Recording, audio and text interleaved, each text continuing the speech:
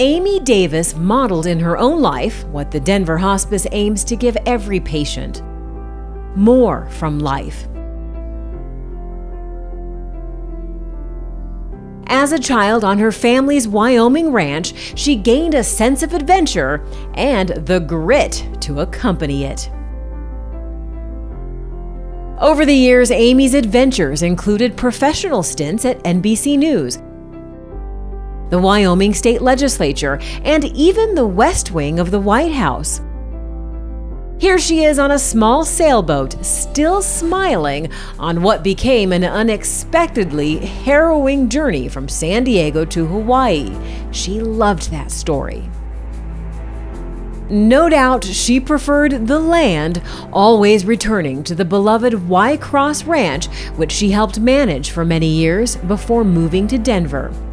Amy also loved her parents, whom she called the best in the world, she ran the Family Foundation named after them, and through her work at the Patton Davis Foundation, she made lasting contributions to communities in Wyoming and Colorado.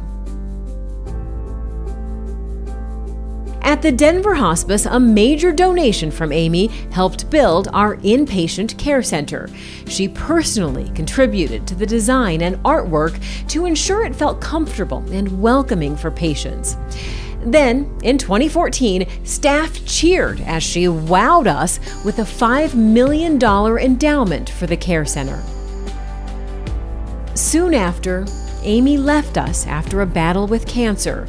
She chose to spend her final days in the inpatient care center, where she donated beautiful, lifelike sculptures of aspen trees as a reminder of how we are all connected in this journey of life.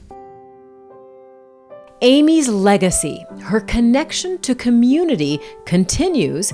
Just this year, we completed construction on our new Hospice Support and Grief Center, named in her honor. The Amy Davis Center was built with an additional $4 million donation from her foundation. Every day, we are reminded of Amy, her commitment to helping others, her example of a vibrant life.